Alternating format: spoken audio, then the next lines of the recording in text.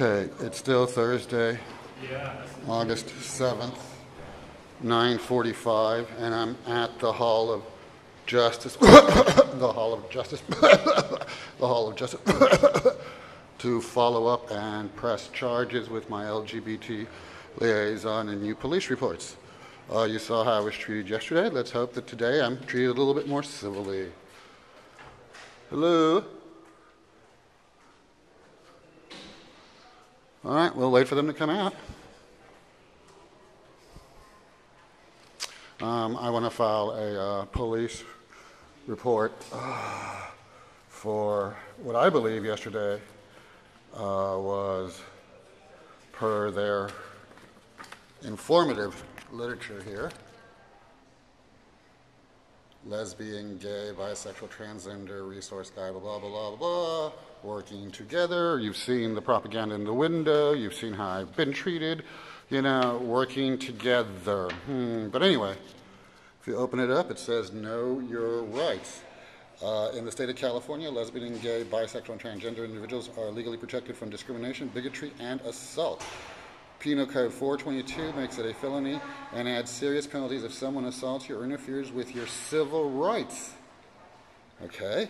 If someone assaults you or interferes with your civil rights because of your actual or perceived race, religion, gender, gender identity, ethnicity, sexual orientation, national origin, or disability.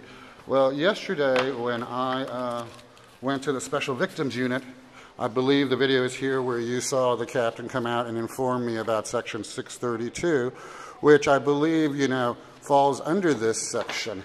You know, I do believe that, you know, I, my civil rights were interfered with because of, you know, my perceived disability.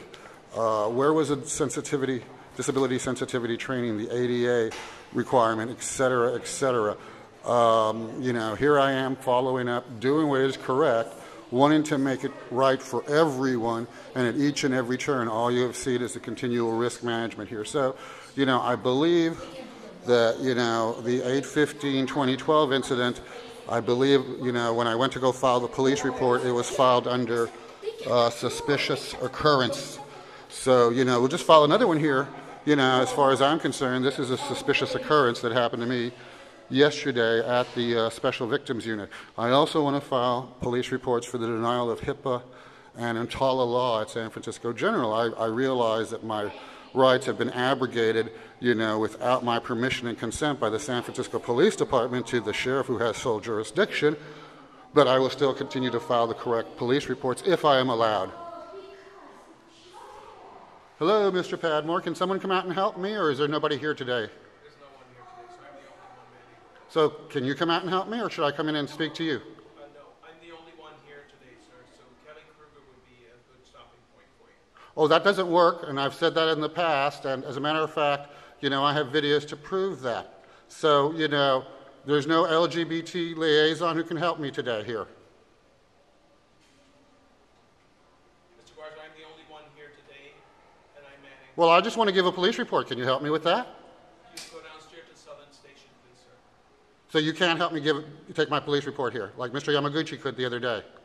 You have to go down to Southern Station, sir. Uh, I didn't have to when I did it with Mr. Yamaguchi. Did you want me to let them know you're coming down, sir? No, sir, I, I, I don't want to be, you know, mishandled. So this will go on YouTube because, like I said, I had, you know, Mr. Yamaguchi take a police report, and now all of a sudden you're denying it to me. Thank you. I'll be back. Well, folks, there's no one here to help me. The 14th largest city in the United States. Hmm.